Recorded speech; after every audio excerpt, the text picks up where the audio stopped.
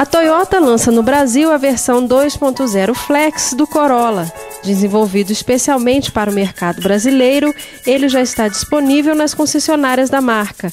O novo motor 2 litros, 16 válvulas, tem potência máxima de 153 cavalos quando abastecido com álcool e 142 cavalos com gasolina. A nova versão chega a partir de R$ 75.830. Diário Web entrevista Luiz Carlos Andrade, vice-presidente da Toyota Mercosul. Nós estamos muito felizes por entregar ao mercado alguma coisa que vocês jornalistas falam assim. Por que com um carro líder de mercado como vocês têm, por que com uma motorização tão boa como vocês têm, vocês estão ainda lançando um 2.0 em cima de tudo isso? Não é um exagero? Eu diria para você que não. Eu acho que essa é a nossa preocupação realmente com o mercado e com a liderança. E o que esse carro traz de novidades?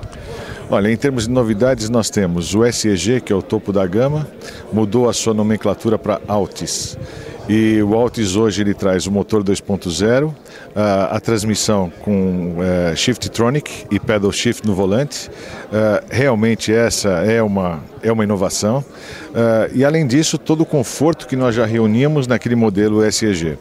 O XEI também hoje só tem transmissão automática, porque com o Shift Tronic qualquer consumidor pode alternar entre mudanças manuais e mudanças automáticas. E o GLI nós estamos uh, trazendo para uma categoria com uma redução de preço de mil reais, uh, tornando ainda o nosso produto mais compacto em termos do atendimento de mercado. E continuam, continuamos tendo o XLI nas versões automática e manual, uh, que é o nosso veículo de entrada, um veículo mais simples. Luiz Carlos, é, nós tivemos notícias sobre o recall de milhares de veículos nos Estados Unidos. O consumidor brasileiro ele deve se preocupar? Ou vocês estão fazendo alguma ação aqui no Brasil com relação a isso? Mais uma vez, eu acho que nós temos que ser categóricos em relação a isso. O consumidor brasileiro não deve se preocupar com esse recall que está sendo noticiado para a Toyota em outros mercados.